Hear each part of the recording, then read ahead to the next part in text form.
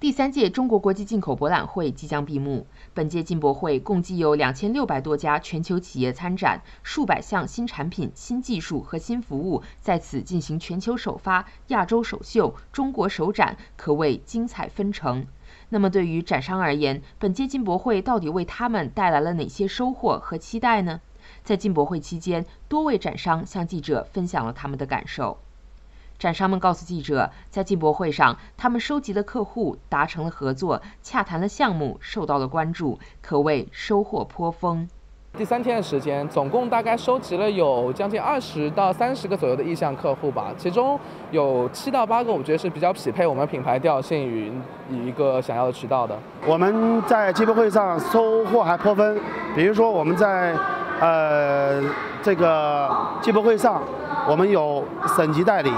然后呢，我们在各地区代理，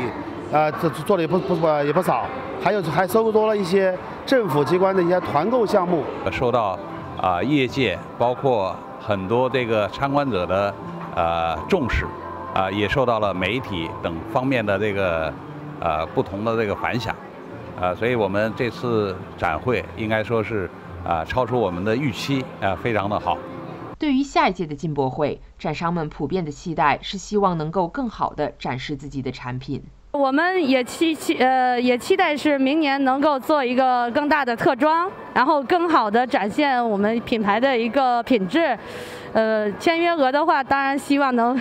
翻翻倍的。我们可能展位会更大哦，我们灯饰可能会更多、更漂亮哦。明年我们会要做一个大的，要一个好的位置啊，就是更更全面的更。呃，立体的去展现一下。此前举办的第三届进博会参展商联盟大会上曾宣布，已有多家企业签约参加下届进博会。有已经连续三年参加进博会的企业向记者表示，进博会是他们分享中国稳健经济增长机遇的重要窗口，有助于他们把科研成果和理念带到中国。Uh, again, it's an opportunity for us to communicate uh, with the general public, but it's also an, an opportunity to meet very important um, uh, stakeholders to uh, build relationships so they understand who we are, so they can trust us more, they, we can create collaboration, and that's something which is also uh, very important.